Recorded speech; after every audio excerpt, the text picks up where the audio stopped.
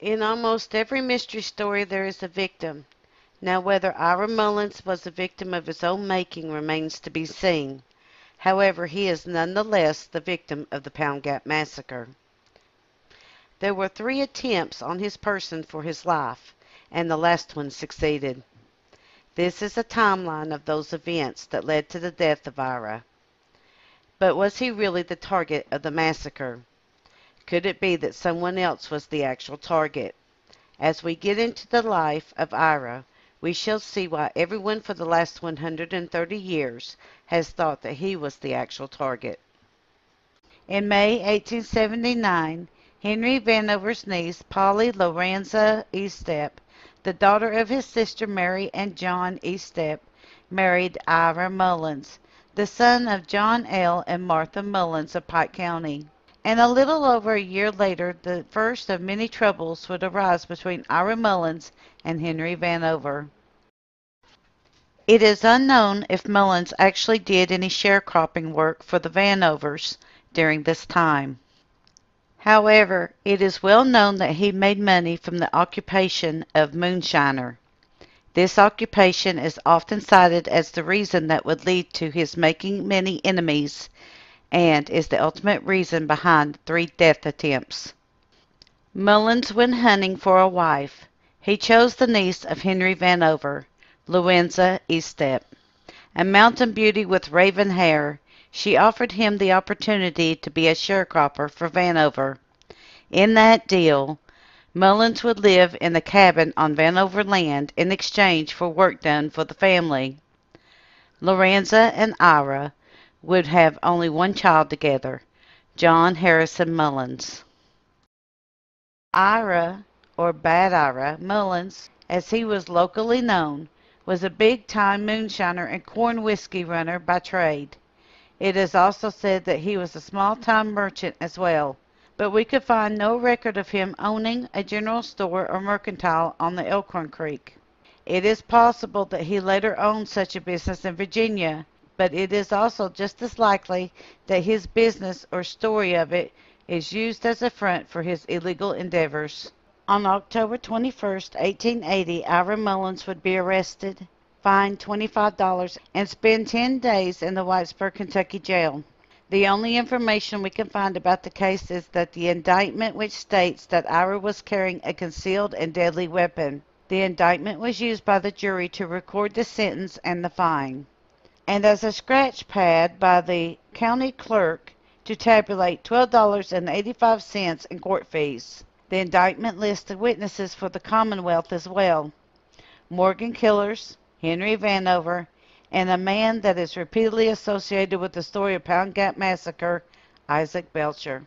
In the mid 1880s, Ira and Louisa Mullins moved to Elkhorn Creek and settled in a cabin that was built on a plot of land owned by Henry Vanover.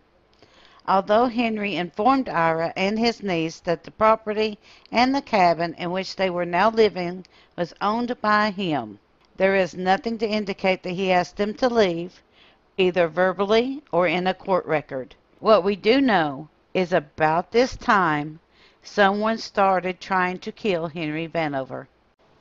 On June 18, 1887, while working in the fields in Rocky Hollow with his wife, Henry Vanover was ambushed and killed. Although the actual killer of Henry Vanover remains unknown, it is widely thought that Clifton Branham had murdered Henry Vanover. Branham was arrested and tried for the crime, Although there was little evidence, and Branham claimed to be at home with his wife and family that day, he was convicted of conspiracy and criminal complicity and would spend 15 years of a 90 year term in prison. After Henry's death, his widow Sarah was left to raise their children on her own. However, having a large timber producing estate did not make it easier, as at one point Sarah was facing 100 lawsuits from people claiming Henry's land, including a lawsuit from Ira and Louisa Mullins. Doc Taylor was a close friend of Henry Vanover's and became involved in several of the lawsuits against the widow Vanover, including one with Ira Mullins. If Clifton Branham had knowledge of who actually killed Henry Vanover, he kept silent about it. He also never told who he had received money from for the assassination. However, everyone suspected that it was from Ira Mullins and his wife Lorenza. There is a tale where Dr. Taylor was involved in a shootout. Taylor and his posse rode into the town of Wise in pursuit of a wagon load of whiskey owned by Ira Mullins, where a gunfight exploded on the streets in front of the courthouse. According to the oft-told tale, approximately 250 bullets were exchanged, leaving the driver of the wagon dead and several others injured. It is said that Ira was shot and paralyzed during this event in Wise, Virginia. According to the oft-told tale, Doc Taylor was fired from being a United States Marshal for the shootout, but there is no historical record that we could find of the shootout happening in Wise, Virginia. However, there is a newspaper article that says that Ira Mullins had received his paralyzing injuries in a shootout with revenuers in Mountain Home, Tennessee, over a year prior to the Killing Rock Massacre. According to the testimony of W. M. Mullins, this event took place two years before the events of the massacre. Most people figured that it was the shootout at Wise, Virginia that started the feud between Dr. Taylor and Ira Mullins.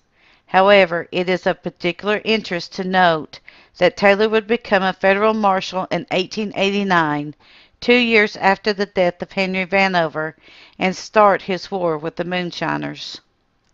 It is also telling in the fact that Taylor chose the pursuit and capture of moonshine runners coming from Kentucky into Virginia. Taylor was known to camp out at what is now known as Raven Rock and spy on the road using his five foot spyglass, and then set a trap for the runners at the top of the mountain. Jemima Harris states that she had lived with Ira Mullins all of that spring because he was paralyzed and couldn't help himself. She stated that he could not feed himself without help. Mr. Robert Mullins was then asked if he knew why Ira had been found in the wagon. The transcript tells us that he replied, quote, Ira Mullins was paralyzed, could not feed himself, and had to be hauled from place to place in a wagon. Unquote. As we will state in this next section, two witnesses would come forward. Both would claim that Dr. Taylor spoke to them about Ira sending out a call to pay someone $100 for them to kill Doc before that Saturday. Why? There is a huge possibility that this was for Doc's testimony on behalf of the widow Vanover. That Doc was testifying against Ira Mullins' claims to the land after the death of Henry Vanover. It is also a possibility that Mullins was about to lose his court case and that he blamed Doc for his testimony. This would make sense as we have no other reason for this claim because Dr. Taylor had recently given up his time as the United States Marshal. Please see Who is Doc Taylor? Sometime in April of 1892, there was a shootout at the Mullins cabin located in Pound, Virginia. According to the Richmond Dispatch, a number of unknown men went to his house and opened fire on the cabin. Several shots went through the window and lodged into the bed of Ira Mullins. Several friends arrived at the cabin and were able to save Ira from death. They hid him under a pile of freight in a covered wagon and spirited him away to safety. Noah Hubbard, Jemima Harris, and Doc Swindle would all testify about the shooting at the cabin. Noah Hubbard would further testify that he and Doc Taylor would have a conversation at his house about the shooting of Ira Mullins. He said that Dr. Taylor told him that, quote, some person or persons had shot through Ira Mullins' window into his bedclothes, but it was not him, unquote. The witness testified that this was because Ira Mullins had offered $100 to have Dr. Taylor killed on Saturday. However, Ira's bed was shot into on Sunday. The witness then stated that Dr. Taylor had told him that he was in Kentucky when Ira Mullins had offered the reward to have him killed. Hubbard then stated that, quote, He said that he was going to keep in the brush and keep the law on his side. Unquote. Dr. Swindle testified, I live 150 yards from Ira Mullins' house, and I saw him the Sunday before he was killed. Dr. M.B. Taylor stayed all night at my house on Saturday night before Ira Mullins was killed. He asked me about Ira and said that Ira had offered $100 for his life. I was in bed when he came to my house. He asked me to get up and come out on the porch, that he wanted to talk to me. He said that sometime after Ira had offered the reward to have him, that is Taylor, killed, someone had shot into his, that being Ira, his bed. But it wasn't me, and laughed and said that he was aiming to come up to big trouble. He said there was aiming to come up big trouble, and that the Fleming boys would not bother me and Colonel Swindle any more, and that he had that fixed. Unquote. Jemima Harris states that, quote, about three weeks before he was killed, someone shot through the window into his bed. The ball went into the shot through the window into his bed. The ball went into the bed covers on which he was lying. The ball looked like a 44 to her. She didn't know that Dr. Taylor carried a 44 pistol. She didn't know where the ball was. Unquote. The final murder attempt against Ira Mullins would come just a month later on May 14, 1892.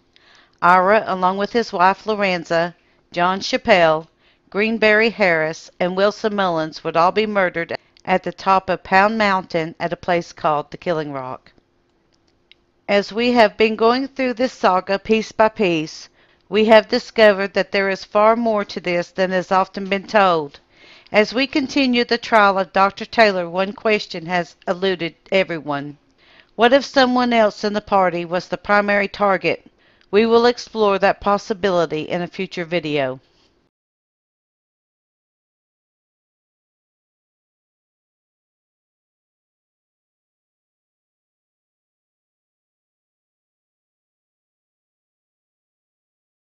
Dr. Marshall Benton Taylor was the son of a Scott County farmer whose family was well known throughout southwest Virginia.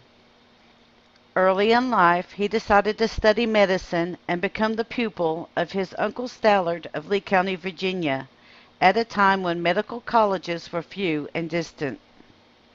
He had only practiced medicine a few months when he answered the call of the Virginia for troops in 1861.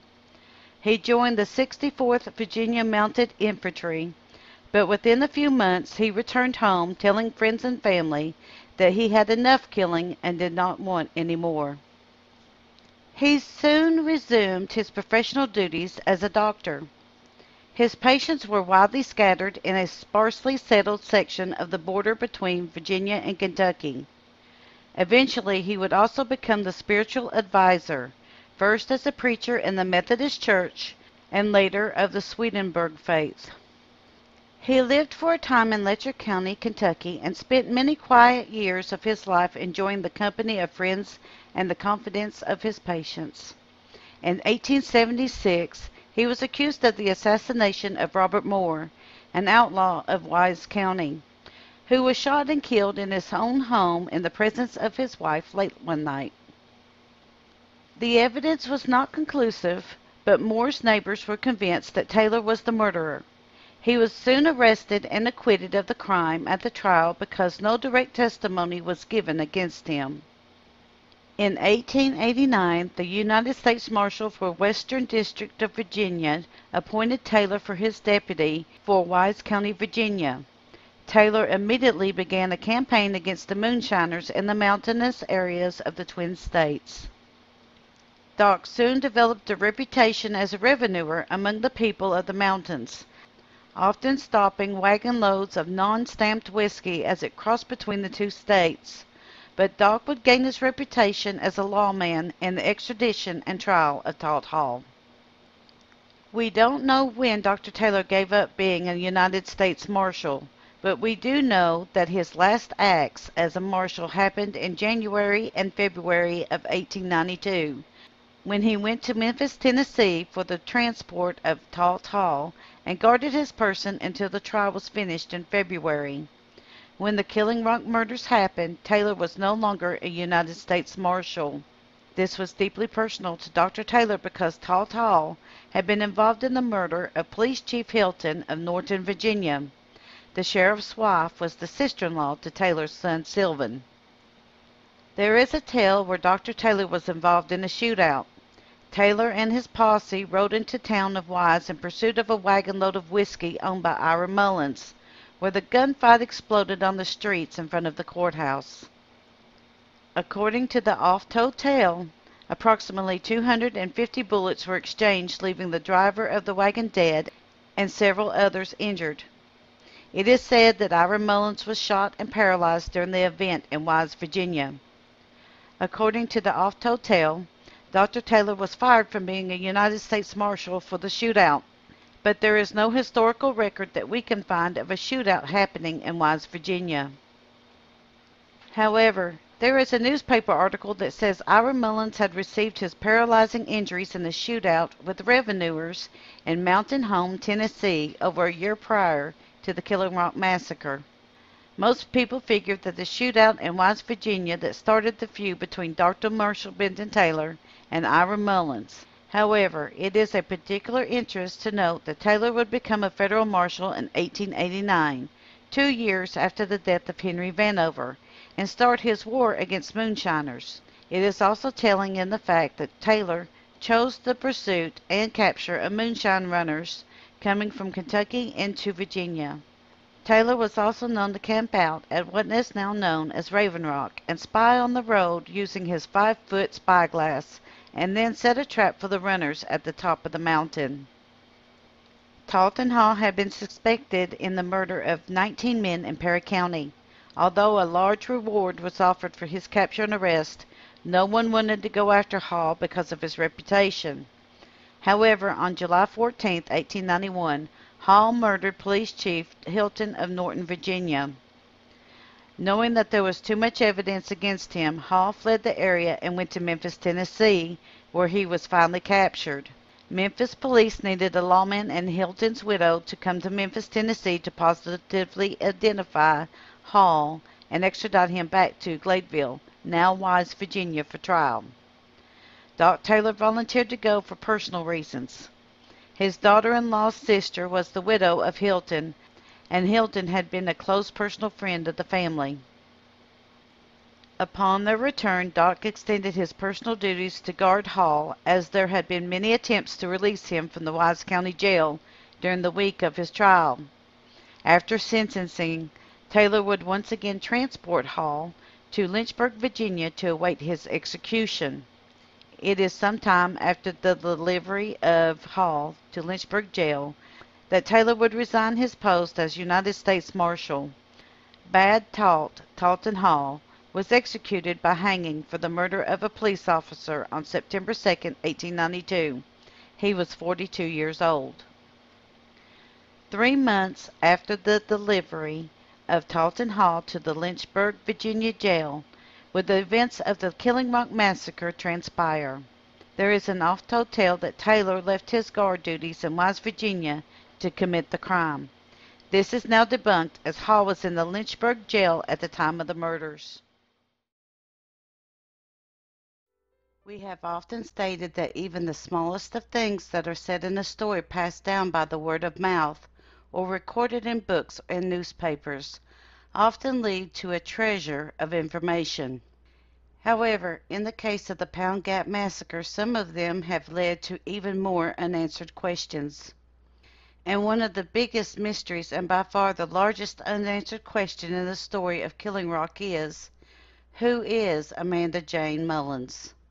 The only hard, concrete evidence easily found on Jane Mullins is that she was Wilson's wife. This is verified by the 1880 census where she is listed in Pike County in the Upper Elkhorn Creek District simply as Jane Mullins' wife. We are told from the various websites that she is Ira Mullins' sister. However, some sites claim that she was his daughter. but there is no evidence for her being his daughter, and the genealogy websites listing her as his sister are contradictory. Some have her listed as Amanda Jane Mullins with a birth date listed as born about 1855, while others have her with a birth date ranging from 1851 to 1857, while some have no birth date for her at all. By far, the strangest websites has Amanda Mullins listed with a birth date of May 5, 1855, and another sister named Jane Mullins with no birth date. Or some of these sites even have them listed the other way around. Combine this with the fact that there is no clear evidence for her death or the date, and Jane Mullins becomes an enigma. There are two clues found in the story of the apprehension of the Fleming brothers. In this story we are told that Cal was killed and Heenan was captured. However, the story goes that when Heenan comes to trial on July 24, 1894, he is acquitted because Jane Mullins had died, even though that we are told Heenan had made a full confession. This statement is odd to say the least, but for now we will focus on this clue and come back to this story in a later episode. This puts Jane's death at a fixed point sometime before July 1894. But at the Potter murdered man cemetery, her grave has a marking stating that she passed away on February 15, 1892, which is nearly three months before the massacre. Some websites give her death as being February 15, 1895. The genealogy sites are of no help either, as they have her death ranging from 1892 to 1948. This in itself is further complicated in the fact that there is another Jane Mullins in the story. Rebecca Jane Mullins was the daughter of Booker Basil, also known as Cripple Basil Mullins, and America Baker. She was born on May 5, 1885, and had a sister named Amanda M. Mullins, born in 1857, who married Benjamin Taylor.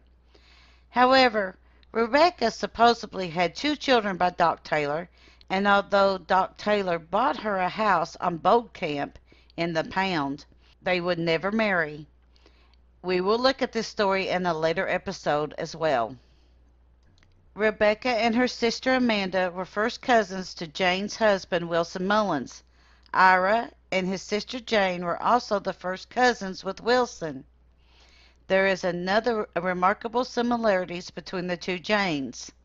However, according to the 1870 census, Jane Mullins is the wife of Wilson and a sister to Ira was named Amoda Jane Mullins.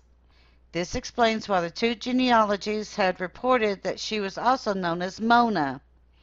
She was born on May 5, 1855, as well as had a daughter with Wilson named Amarinda or Mindy Mullins, who was born in 1881.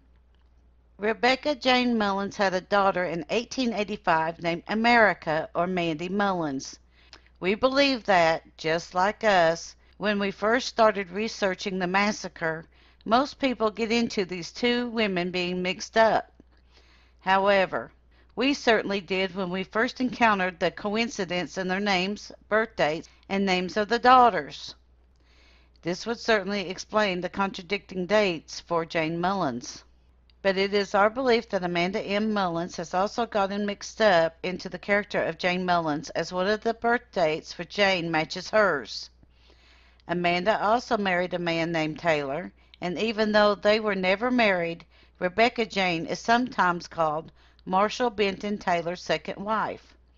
Therefore, we believe a multiple of stories and websites report our sister's name as being Amanda Jane Mullins because both Amanda and her sister Rebecca were both tied to, married, or considered as a second wife to a man named Taylor.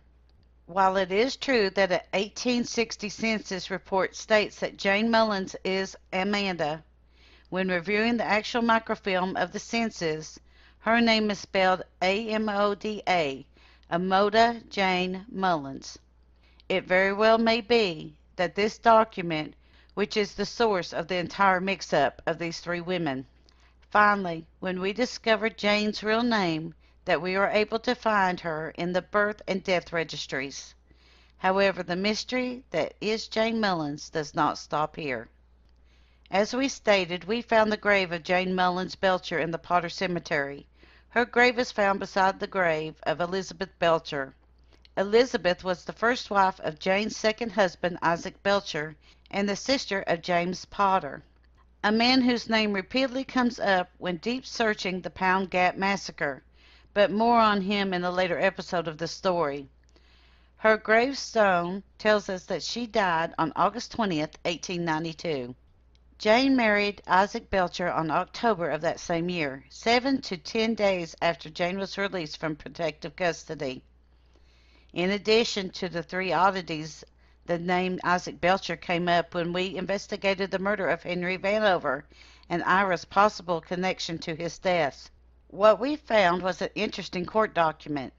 The document tells us that Isaac Belcher and Henry Vanover were the primary witnesses against Ira Mullins in a criminal court case shortly before the death of Henry. This prompted us to take a closer look at Isaac Belcher and his relationship with all those involved. This, in turn, brought up another question. Did Jane marry an enemy of her brother seven to ten days after being released from protective custody? While digging for information on this, we discovered a possible cause for Elizabeth Potter Belcher's death. A newspaper had reported that a woman had died on Little Elkhorn Creek from her injuries after falling into an open fireplace while cooking dinner. While the article gives no name for the woman, the date is given August 20th, 1892. Elizabeth Grave has an interesting epitaph as it reads, Blessed are the dead who die in the Lord. While this seems innocent enough, when we know how and when she died, and consider Isaac Belcher's sudden romance and marriage to Jane Mullins, it seems strange to say the least, especially after we found the truth about Jane's death and discovered even stranger epitaph on Jane's grave. Right next to Elizabeth, we find the grave of Jane Belcher. As we have already said, it has her death occurring on February 15, 1892. We discovered that her death occurred on February 15, 1894. Why the mistake? Could it have been deliberate? It is often reported that Jane died in childbirth, and we found that this is the story told in the family as told to us directly by Jane's great great great grandson.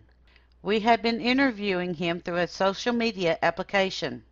He was shocked and refused to believe us when we told him how Jane actually died. After producing the newspaper clip, he became upset with us and ended the interview accusing us of digging up a past that no one wanted to know. The epitaph on Jane Belcher's grave is shocking, especially when taking everything that we have just discussed into account. The epitaph reads, quote, faithful with her trust until death, unquote. So, what secret of Isaac Belcher's did she take to the grave? We think that her death may tell us. We also have a lot of people who have gone to great lengths in order to cover up that death. She has been confused with at least two other women, and her identity has been obscured with them.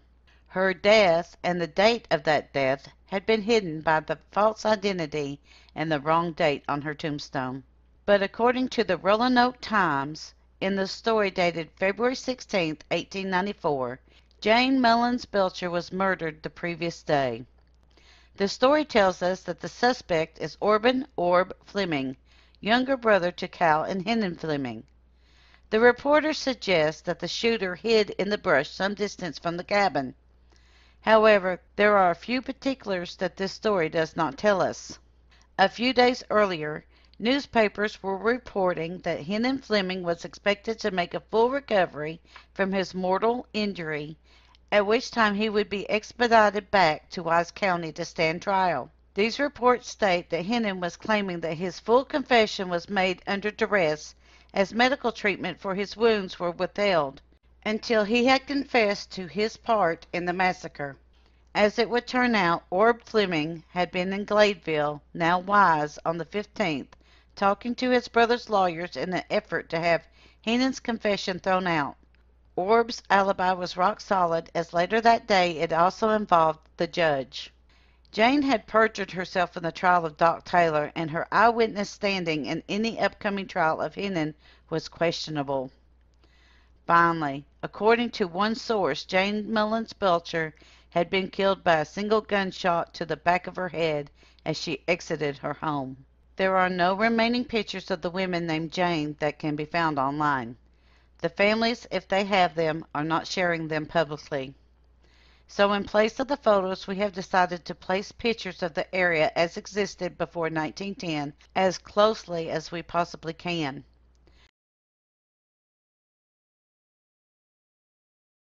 Henry Vanover was born in 1835 to Daniel and Nancy Vanover. During the Civil War, he served as a private with the Union Army.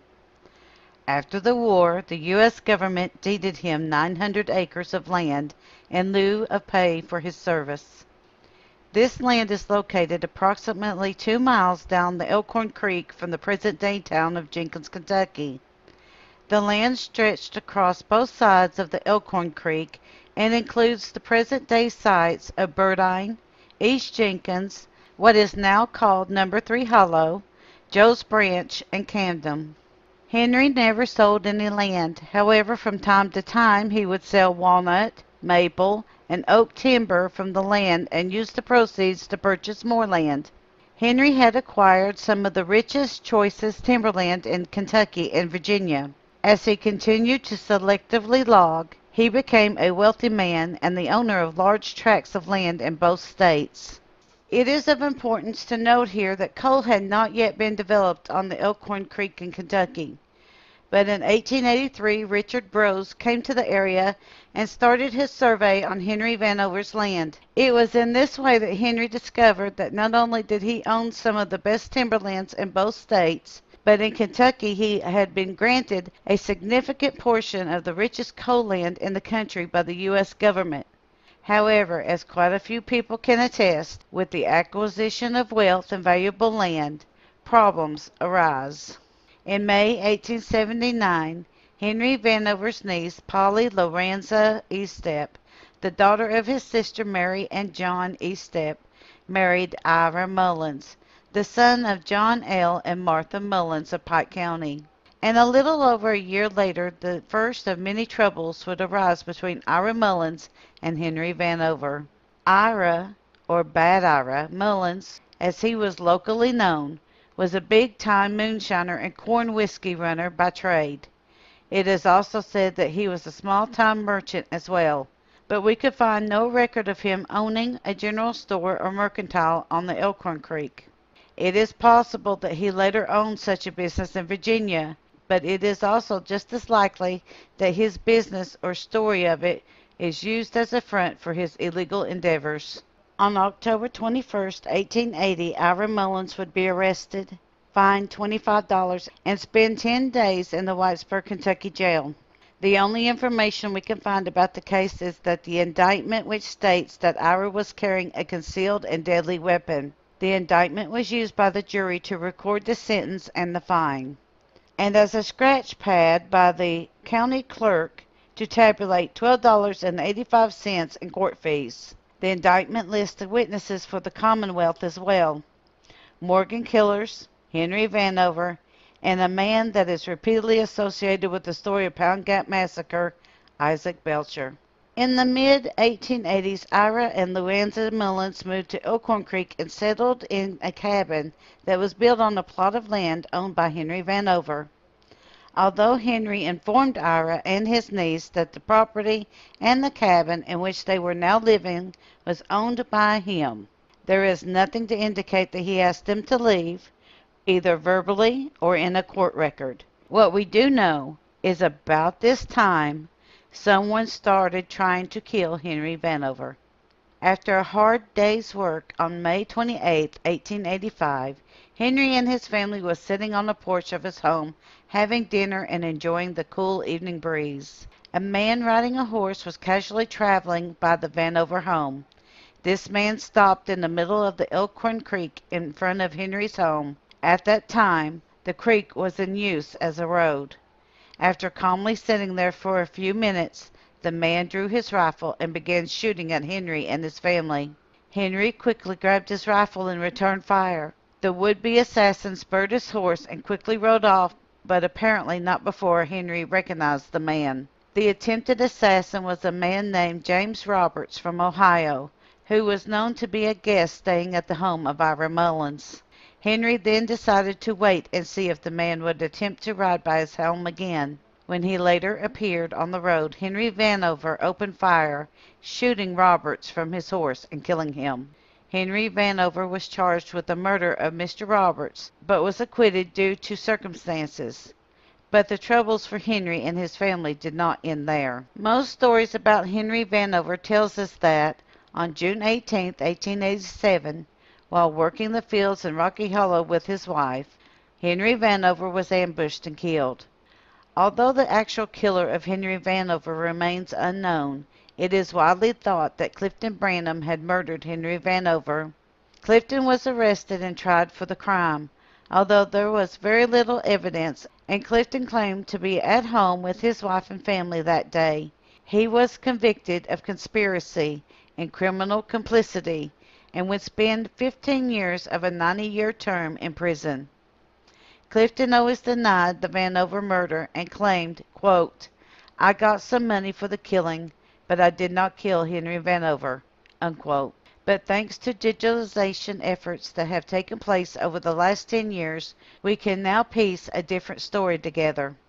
On page 8 of the Kentucky newspaper, the Hazel Green Herald, dated Friday, August 12, 1887, is two sentences. They simply tell us that Clifton Branham and his brother Tan were in jail charged with the killing of Vanover. They made a confession implicating several others. Tan was Clifton's brother, Tandy Branham. They were both given life sentences in the Kentucky State Prison at Frankfort in Franklin County for the murder of Henry Vanover. But according to page 3 of the Hopkinsville Kentuckian, dated June the 24th, 1892, Tandy Branham was one of the quote, unfortunates, unquote, serving a life sentence for murder in the Eddyville Penitentiary who was adjudicated insane and sent to an asylum. Although we can find no exact date, Tandy was released from the asylum prior to August 1896. We know this thanks to two Kentucky newspaper clippings from August and November of that year. The first comes from the Daily Leader, now the Lexington Herald, dated August 12, 1896. The second is from the Richmond Climax, dated November 25, 1896. These two papers inform us that Tandy was murdered on August 11th, and although his killer had been caught, he refused to give his name. The second clip tells us that his killer was 18-year-old Coon Willis, and informs us that Mr. Willis pleaded guilty and received a life sentence instead of facing jail. And informs us that Mr. Willis pleaded guilty and received a life sentence instead of facing trial. Clifton's story is a little more interesting. Clifton and Tandy apparently took a similar deal to that of Coon Willis, choosing life in prison rather than face trial and the gallows. Clifton's story is summarized and can be found on page 11 of the Louisville, Kentucky's Courier Journal dated September the 26th, 1903. In 1899, Clifton would follow the footsteps of his brother Tandy and feign insanity. He would then be transferred to the Eastern Kentucky Lunatic Asylum in Lexington, Kentucky. Clifton would spend a total of six months in the asylum before he was released. In all, Clifton Branham would spend 12 years locked up for the murder of Henry Vanover. Clifton would be tried and hung for the murder of his wife in 1903. However, there is another oddity in the story about Clifton Branham and the murder of Henry. The story tells us that, quote, the actual killer of Henry Vanover remains unknown. It was widely thought that Clifton Branham had murdered Henry Vanover, unquote. It goes on to tell us that, quote, Clifton always denied the Vanover murder and claimed, I got some money for the killing, but I did not kill Henry Vanover, unquote. Some websites are now reporting in snippets that there was a third man who was tried and sent to prison for the murder of Henry Vanover at the same time. These snippets are found on genealogy websites and articles about both men, and give this third man's name as George Johnson. After an exhaustive search, we can find no mention of any man associated with the murder of Henry Vanover other than those asserting that Ira Mullins was the man who paid the Branham brothers. We did find that Clifton and Tandy confessed to the crime implicating others. Was George Johnson one of the persons implicated in the confession? Or is it possible that this is a distortion to hide the simple truth? In several of the stories about Clifton Branham, we are told that he was quite the ladies' man. It is even implied that it was one of the reasons he spent so much time away from home and his wife. We are also told that Clifton was also fond of an alias that he often used on these occasions. Clifton often used the alias George Jones. Could it be that the third man was actually a split personality? Could it be that both Clifton and Tandy Branham were both insane? After Henry's death, his widow Sarah was left to raise their children on their own. However, having a large timber producing estate did not make it any easier.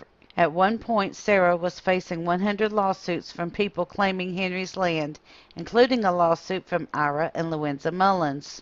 About this time, Henry Vanover's oldest daughter, Catherine, had caught the eye of Heenan Fleming, and he and his brother Calvin were often visitors at the Vanover house helping with the farm. Eventually Heenan would marry Catherine. Doc Taylor was a close friend of Henry Vanover's and became involved in several of the lawsuits against the widow Vanover, including one with Ira Mullins. If Clifton Branham had knowledge of who actually killed Henry Vanover, he kept silent about it. He also never told who he had received money from for the assassination. However, everyone suspected that it was from Ira Mullins and his wife Lorenza. Most people figured that it was a shootout at Wise that started the feud between Dr. Marshall Benton Taylor and Ira Mullins. However, it is of particular interest to note that Taylor would become a federal marshal in 1889, two years after the death of Henry Vanover, and start his war against moonshiners. It is also telling in the fact that Taylor chose the pursuit and the capture of moonshine runners coming from Kentucky into Virginia. Taylor was also known to camp out at what is now known as Raven Rock and spy on the road below using his five foot spyglass and then set a trap for the runners at the top of the mountain. Over the next four years, Taylor would lead an assault against illegal whiskey that many came to say was his personal vendetta against moonshiners. He would also gain fame as an herbalist and a spiritual leader, often staying with his patients for extended times until they were well. It is also during this time that he would acquire the nickname the Red Fox and take on a persona of being a mystic.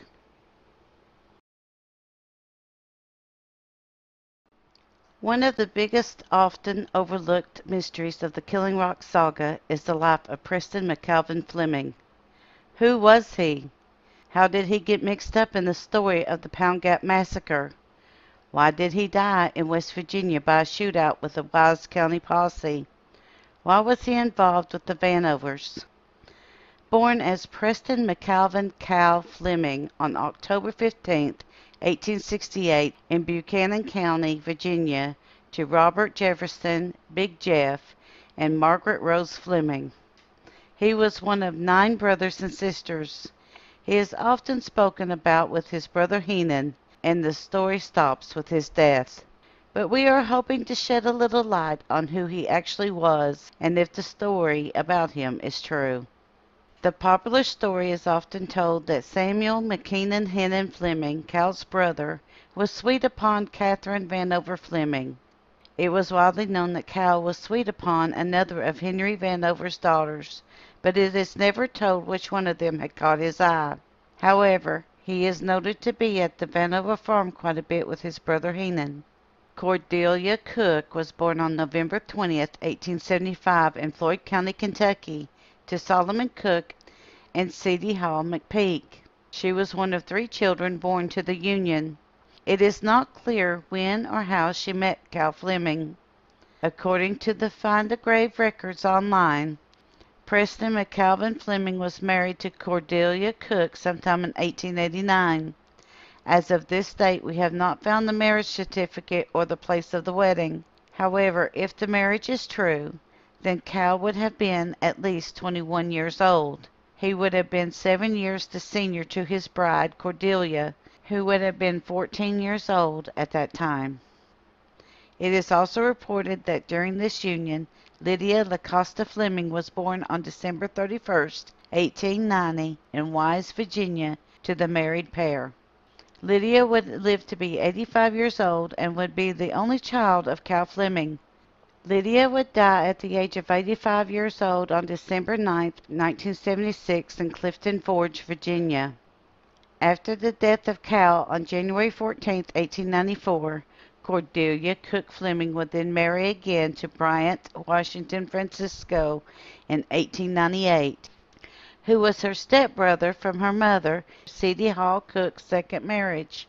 She would die on February 20th, 1954, at the age of 78 in Ashcamp, Kentucky. There is a record of the marriage with the state of Kentucky taking place in 1889, but there is no actual date listed, so that leaves us with questions. Common law marriages are common to the mountains even to this day. Even though there is no certificate of marriage, there is usually a small ceremony with family to let everyone know that the relationship is a permanent and a family and community condoned one. All children born to this union are considered to be legitimate and carry the father's name.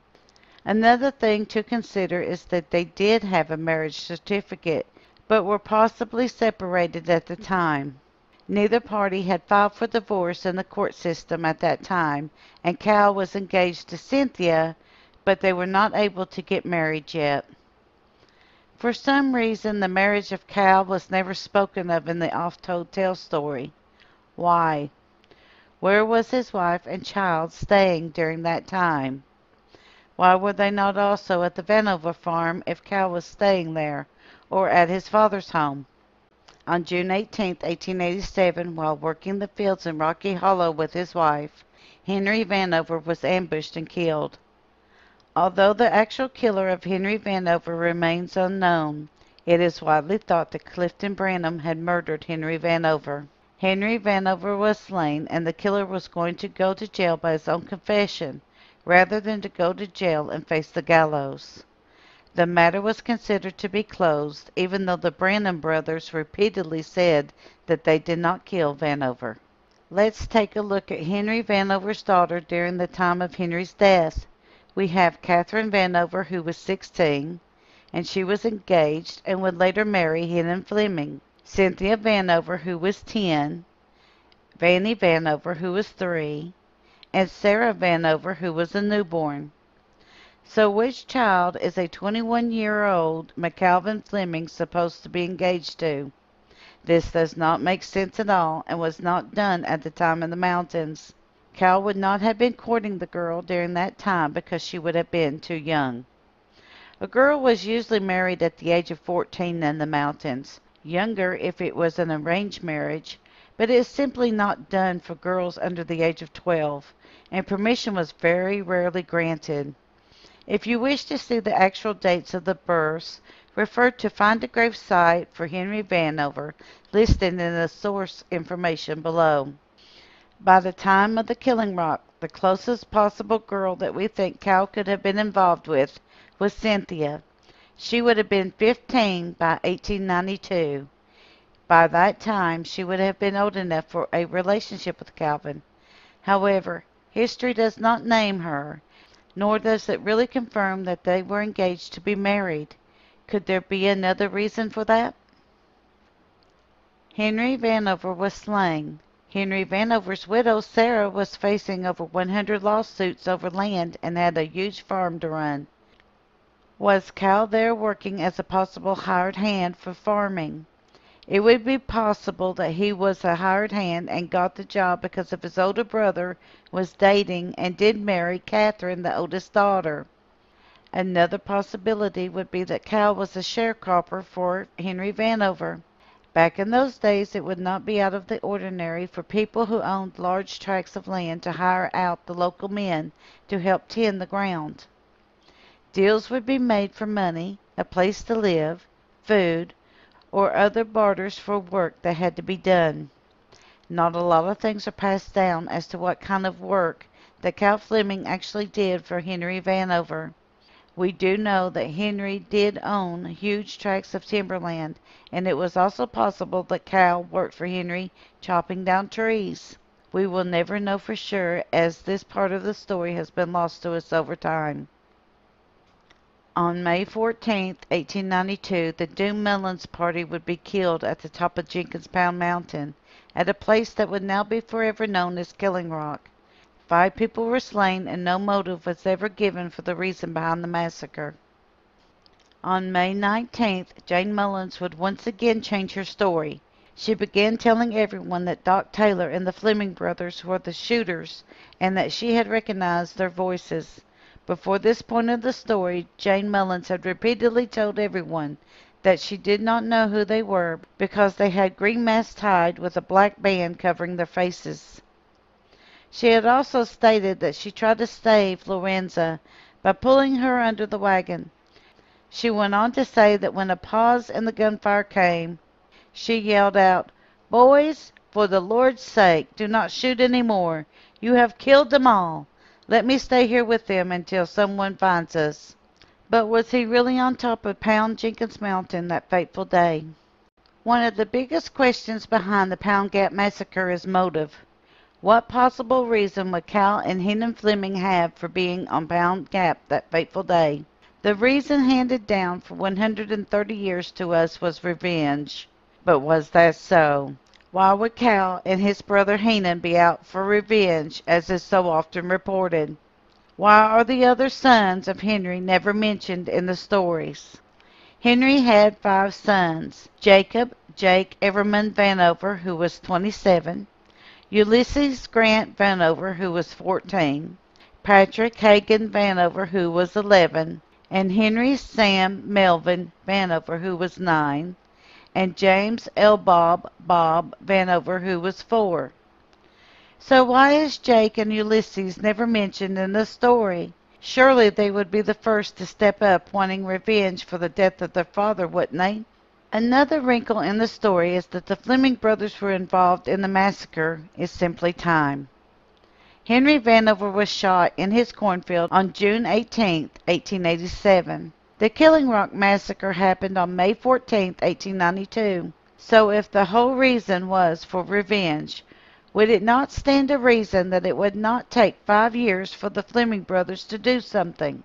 If they were the hotheads that history has claimed that they were, it would stand to reason that as soon as the Branham brothers were accused of the crime, that they would have went after them instead. So why go after Ira Mullins? Another possible twist we have come across is the 100 lawsuits that Sarah Vanover faced from the squatters on her land. Ira Mullins and his wife Lorenza was among those that was suing the poor widow so again, why go after them if they were all in a court of law? Did Ira have the strongest claim to the land? So why shoot Ira and his family? Why wait the five years to do it?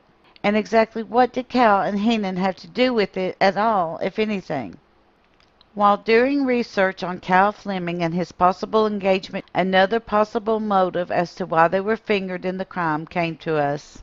What if someone didn't like it that the Fleming brothers were going to marry the richest marriageable ladies in the area of Jenkins? Cynthia and Catherine were both of marriageable age by 1892, and the land that their father had left behind was a gold mine in timber and coal.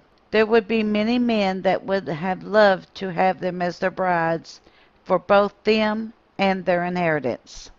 The reason why we have thought that there is another suitor is because of what happened to one of Henry's daughters during this time. After the death of Henry, one of his daughters in the oft-told tales was beaten almost to death. There is also a possibility that she was violated. Why? For what purpose?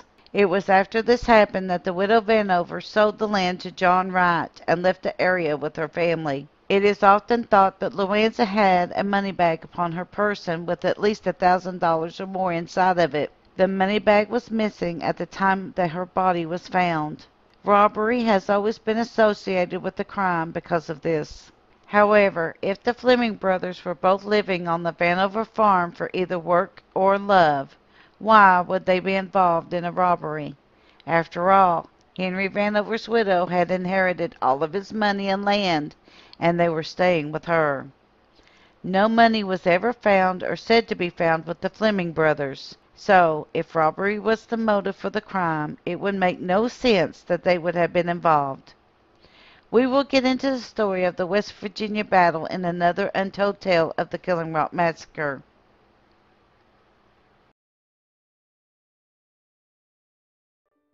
As we have already stated in the Killing Rock The Oft-Told Tale Part 2, there was a failed arrest attempt made.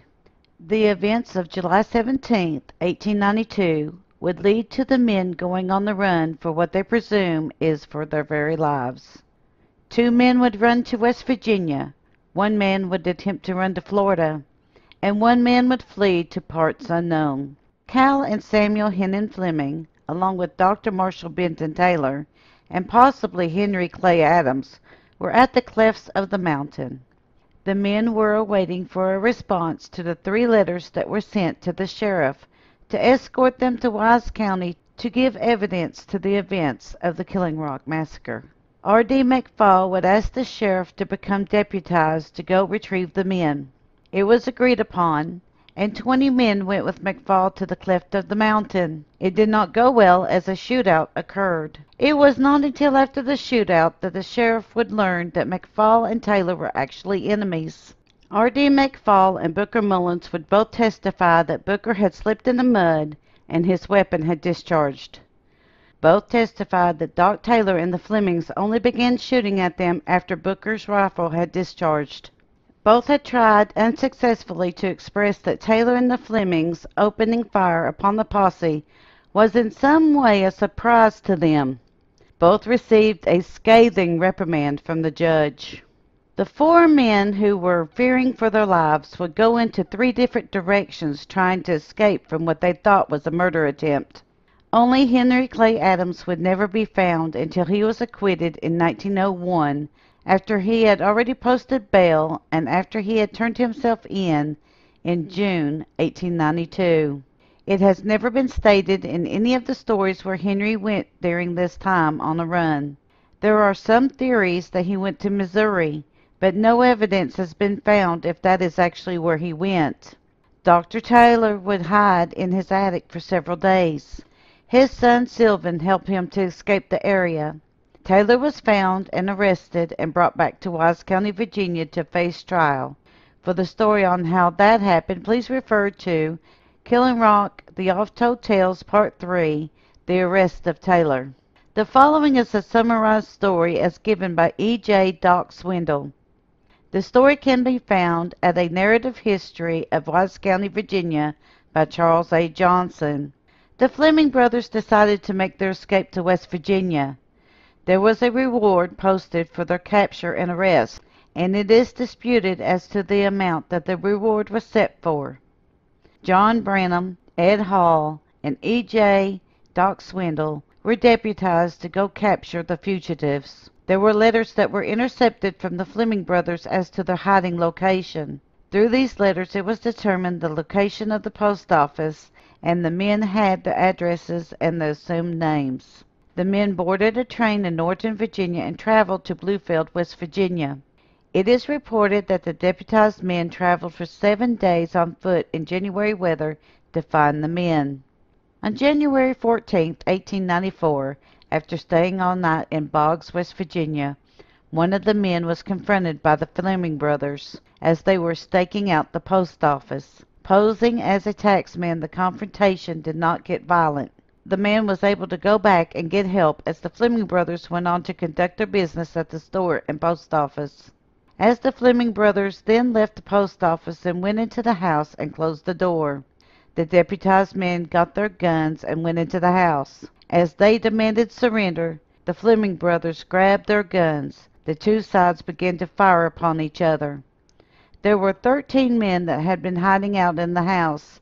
They began to scatter, and several of them were shot in the confusion. Cal was shot to death by Big Ed Hall. Big Ed Hall and Doc Swindle were both wounded during the shootout. It was thought that Doc would not survive as he was shot through the neck and jaw, but he did recover from his injuries. John H. Branham would die of his injuries nine days later. Because of his death, the case against Preston McCalvin Fleming was ended. McCalvin would die on January the 14th, 1894, at the age of 25 years old. Cal would be buried in Boggs Cemetery in Boggs, Webster County, West Virginia. John Branham had fell on his back during the shooting, when Heenan had aimed his gun to shoot John. There is confusion as to which man shot Heenan, John Branham or Ed Hall. The shot, according to Doc Swindle, hit the cylinder of the gun and split in half. One half of the shot went into the pistol, and the other half striking Heenan. The shot split Heenan's arm up to the elbow and hand. Heenan was taken into custody. Heenan was refused medical treatment until he confessed to the murders that had taken place in Pound Gap, Virginia. According to the story found in Charles Johnson's book, Heenan had went to trial. On July 24, 1895, there was a six-day trial in which a jury returned a verdict of not guilty against Heenan. This was because the only witness to the crime, Jane Mullins, had died, and the forced confession was denied as evidence. There is conflicting stories upon this. There was no trial, but in the preliminaries of the trial it is also told that Heenan's confession was thrown out of court because it was made under duress. His medical treatment was withdrawn from him until he made a full confession. This action taken by the deputies was deemed illegal, as well as Jane Mullins had died before the trial. So the prosecuting attorney dropped the charges against Heenan. Heenan would return to West Virginia and would die in 1943 in Cottle, Nicholas County, West Virginia at the age of 77 to 78 years old.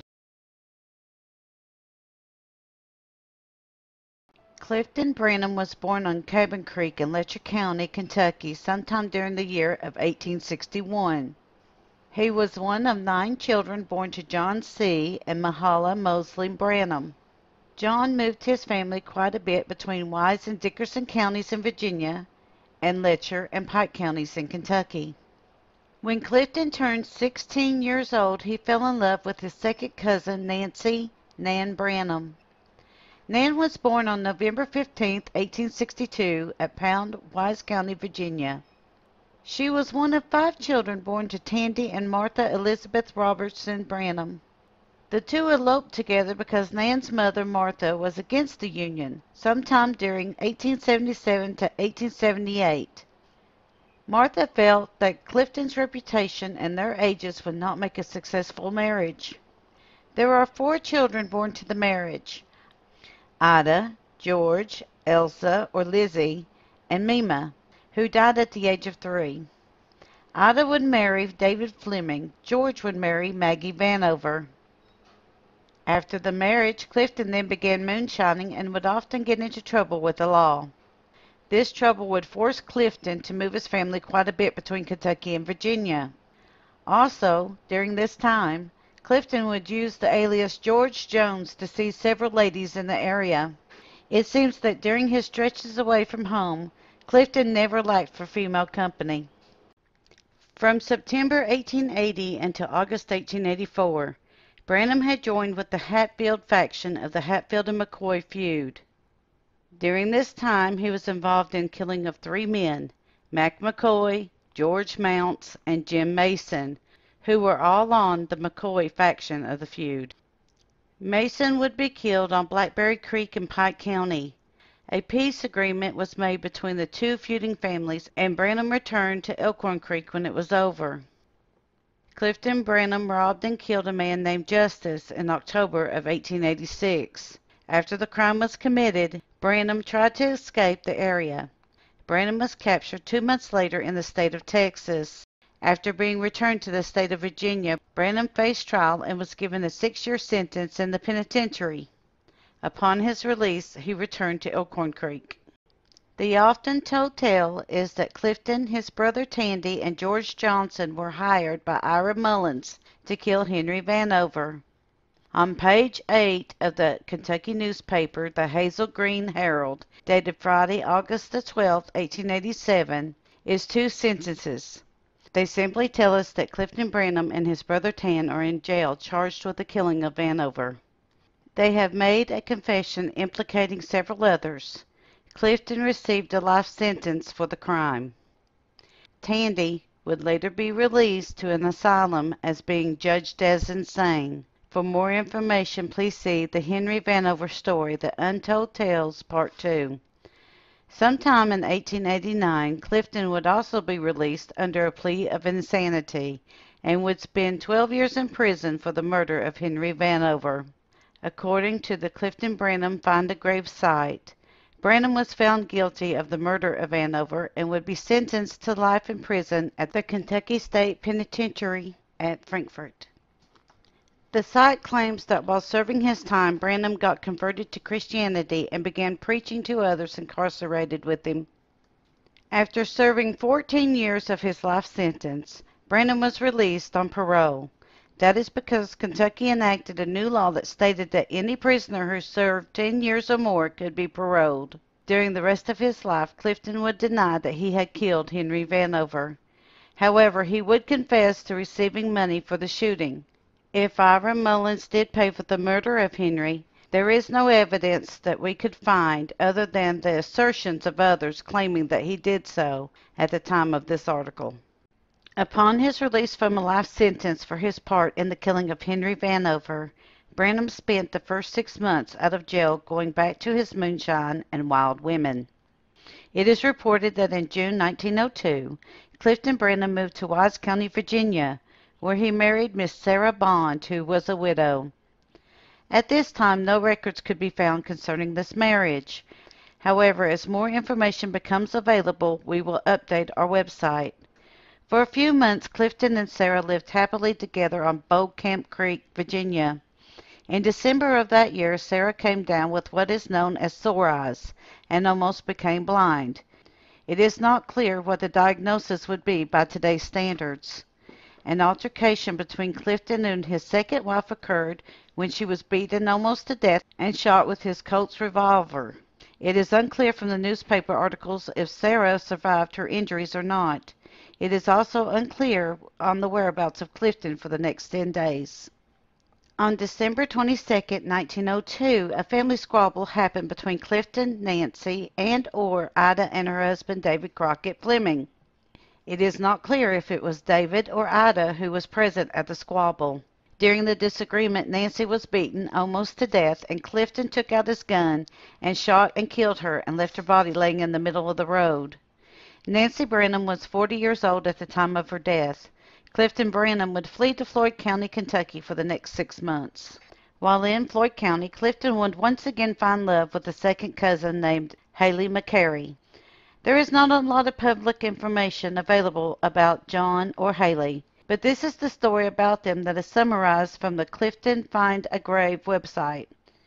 The story goes that Clifton fell in love with Haley and asked for her hand in marriage from her father.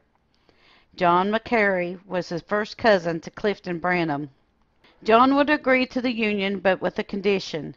Clifton would have to kill a man for John. The name of the man was Hence Moore on Beaver Creek, Floyd County, Kentucky. However, the story is told that Clifton did as he was asked. Clifton then married Haley. It is also reported that for three days after the death of Moore that Branham would go to the grave of Moore and fire volley after volley of gunshots into his grave. The sheriff of Floyd County was summoned of this act. After getting married for the third time to Haley, Clifton decided that he would move to the state of Michigan in order to begin a new life. His new bride was with him aboard the train when Clifton Branham was recognized. After gathering 50 men, the sheriff met Branham at the White House train station in Johnson County as he was departing for Michigan. A posse apprehended him, and John Wesley Hillman and Emmett Swindell brought him back to the Wise County Courthouse to face trial.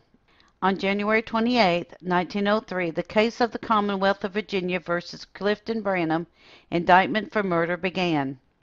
The case was continued until May 27, 1903, at which time the public defender, John A. Hughes, was assigned to defend Branham. The jury returned a guilty verdict after listening to all the evidence of the case. On September 25, 1903, Branham faced the gallows. He was given time to address the 4,000 people in attendance of his execution. He confessed to the crowd what happened during the time his wife was slain. According to the Courier Journal, then Branham asked the crowd two questions. The first question was, if anyone in the crowd felt that he was not justified, he would look for the one to hold his hand up. Not a single hand went up in the air.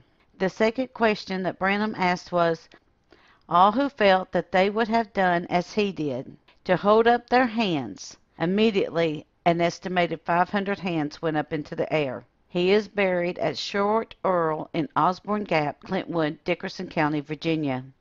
Thank you for continuing to support Kentucky Tennessee Living as we bring to you the history of the Appalachian Mountains. Please like, subscribe, and share below. Also hit the bell for notifications of future videos. And once again, be sure to leave us a hey y'all in the comments section below.